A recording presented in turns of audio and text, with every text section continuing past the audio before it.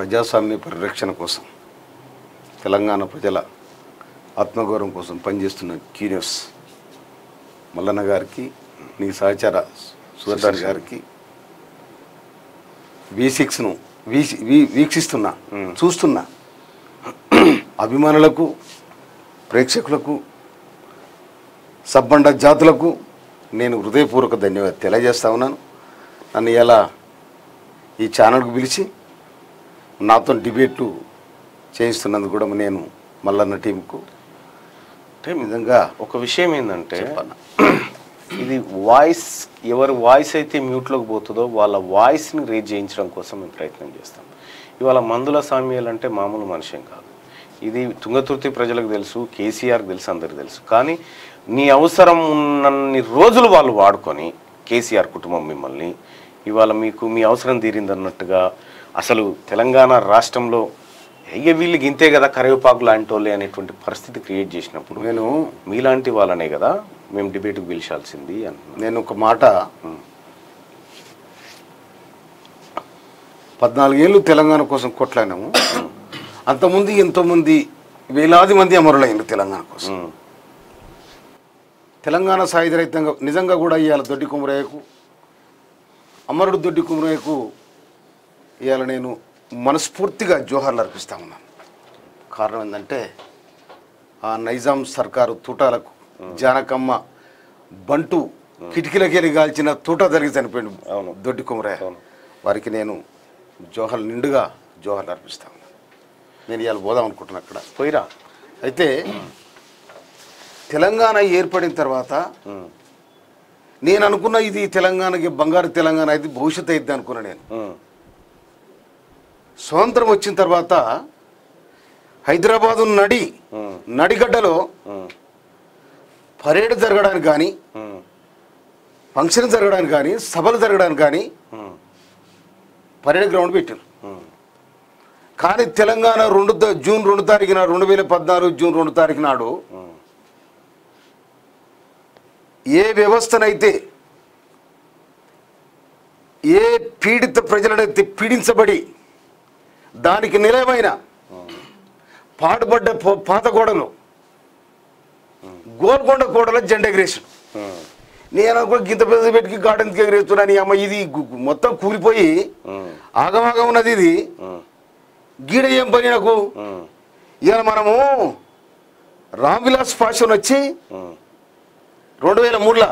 రెండు వేల మూడులో ఉమ్, రామ్ విలాస్ పాషన్ వచ్చి పర్యటకంలో సభ పెట్టి తెలంగాణ కోసం మద్దతు ఇచ్చిండ్రు. అవును.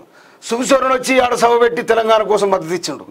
వేదిక గది కావాలి కానీ ఈ పాడుపడ్డ పాత గోడల జాతీయ పతాకాన్ని ఎగిరేస్తున్న ఏందమ్మా అని అప్పుడే డౌట్ వచ్చింది నాకు. ఓహో ఇది కథ జరుగుతుందిరా. ఆడ ఎర్రకోట మీద ఆయన ఎగిరేస్తే నేను ఈ గోల్కొండ కోట మీద నేను ఎగిరేస్తున్నాను. కానీ గోల్కొండ కోటకు అంత ఈనమైన చరిత్ర ఉంది అది. గోల్కొండ కోట చరిత్ర ఏంటిది? ఇలా బండి యాదగిరి. బండి యాదగిరి ప్రతాప్ రెడ్డికి జీతం ఉండి. ఎర్రబాడు దొర. ఎర్రబాడు దొర బామ్మర్ది ఎవరైతే ఉందో ప్రతాప్ రెడ్డి జీతం ఉండి బండి కొట్టుకపోయి బండి వెనక బండి కట్టి పదహారు బండ్లు కట్టి ఏ బండ్లే పోతావు? కొడుకో ఓరో ప్రతాప్ రెడ్డి అంటే మహబూబ్ సినిమా దాన్ని నైజాంకు డైవర్ట్ చేసి పాడి.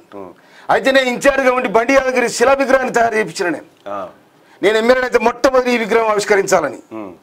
కారణం ఏంటంటే అది యాదగిరి వెనకాల చదువురాని యాదగిరి. ఆ యాదగిరి ఆలోచన విధానంలో ఒక పటిష్టమైన అవగాహన ఉంది దీన్ని. ఆయన బొమ్మ లేకపోతే వాళ్ళ బా బావ ఉంటాడు మేనబా. ఎలకపల్లి.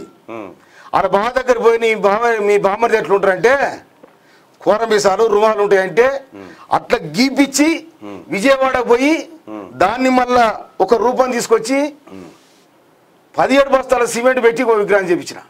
నేను ఎమ్మెల్యేని అయితే ఫస్ట్ ఆ విగ్రహాన్ని. బండి యాదగిరి. బండి యాదగిరిది చేద్దాం అనుకున్నా.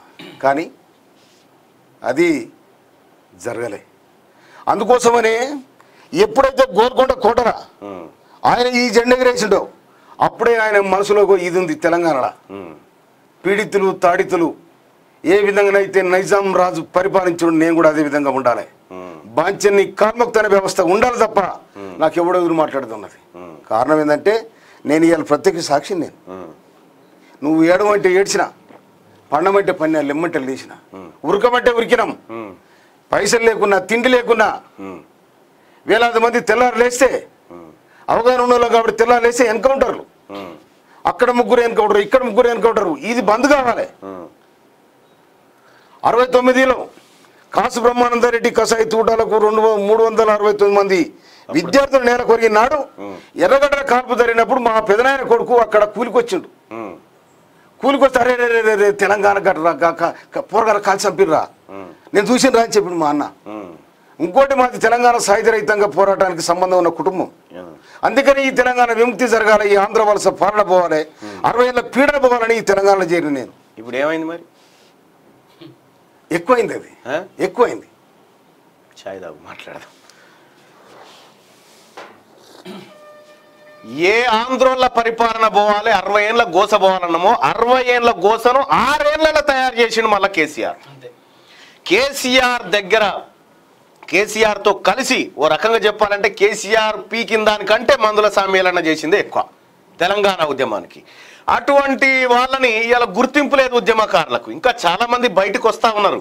ఇలా మందుల సమ్మేళనంతో స్టార్ట్ అయ్యే ఆయనతో నిండేది కాదు. మొత్తం టీఆర్ఎస్ పార్టీ ఖాళీ అయ్యే పరిస్థితికి వస్తుంది.